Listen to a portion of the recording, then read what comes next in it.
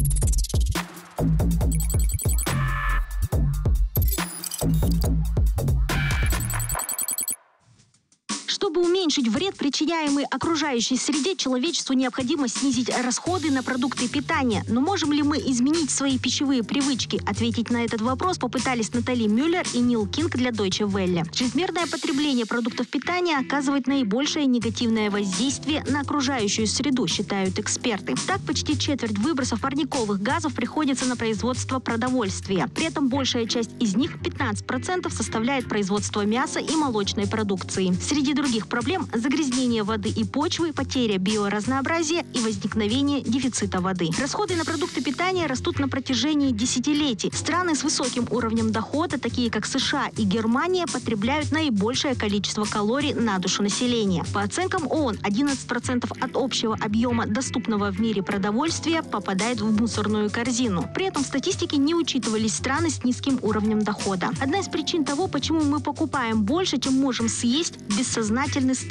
перед голодом. У нас врожденное желание обеспечить едой себя и наших детей. Если вы начнете думать о том, что существует риск остаться без еды или она в скором времени закончится, то вы начинаете ее копить, считает антрополог-нутрициолог Пенсильванского университета Джанет Хрзан. При выборе того или иного продукта в магазине не последнюю роль играют такие факторы, как цена, проблемы со здоровьем, вкус и ценности. По мнению социолога Гиссенского университета Стефана Валина, люди, как правило, едят одну и ту же пищу 95% своего времени. Но по мнению климатологов, изменение рациона питания позволит снизить выбросы парниковых газов. Ученые предлагают употреблять меньше красного мяса и больше растительных продуктов. Сезонное питание также может иметь значение. В докладе Европейской организации потребителей говорится, две трети покупателей готовы изменить свои пищевые привычки в связи с проблемами с экологией. Но только каждый пятый готов тратить на правильное питание больше денег. Чтобы изменить ситуацию, ученые предлагают указывать на упаковках, какое количество земли или воды ушло на производство того или иного товара. Среди других мер – принятие субсидий, которые сделают экологически чистые продукты более доступными.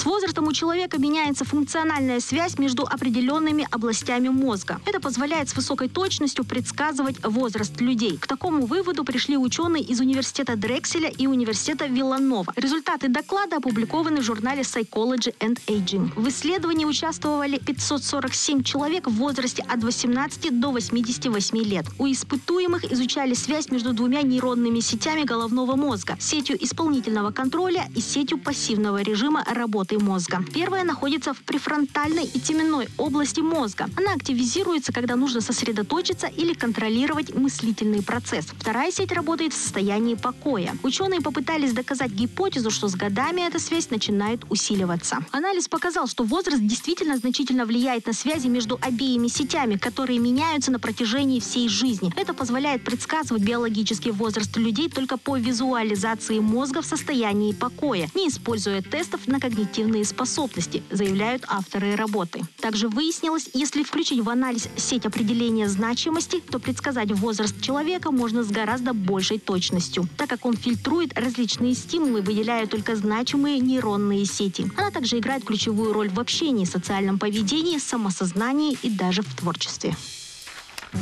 Snapchat появилась платная подписка, передает издание The Verge. Snapchat Plus в первую очередь предназначен для опытных пользователей приложения, которые желают одними из первых воспользоваться новыми и эксклюзивными функциями социальной сети. Подписка обойдется в 4 доллара в месяц. Сначала она будет доступна в США, Канаде, Великобритании. Разработчики надеются, что она станет новым источником дохода для компании. Старший вице-президент Snapchat Джейкоб Андрю при этом отметил, пользователи с подпиской все еще будут видеть рекламу в приложении, и компания пока не планирует ее отключать.